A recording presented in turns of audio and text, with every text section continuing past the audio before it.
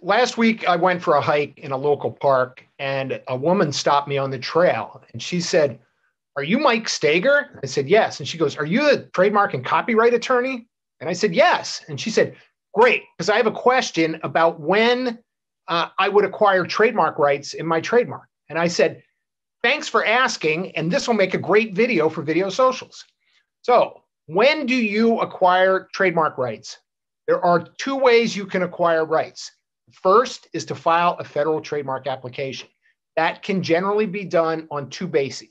One, you're already using the trademark in commerce, which means you're selling or offering to sell your goods or services uh, in relation to that trademark.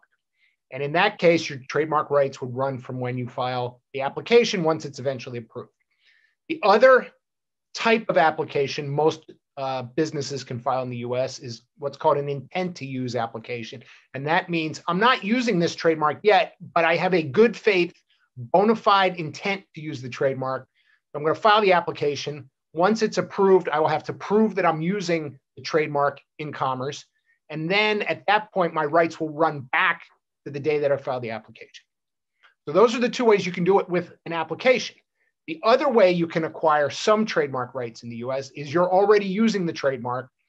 You would get what is called common law trademark rights. And that, depending on who may also have a registration, when that registration was acquired, you can have some rights to use your trademark and sometimes exclusive rights to use that trademark in the geographic area where you're actually providing goods and services. So for a restaurant, going to be a very limited area. If you're doing an online business, you may have uh, common law trademark rights that, that run through multiple states or across the country.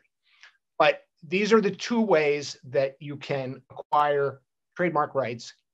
Uh, I'm Mike Steger. I'm a trademark and copyright attorney. Always glad to talk with you about uh, trademark or copyright issues. Give me a call. Or if you see me on the street and you have a good topic for Videosocials video, flag me down and ask a question.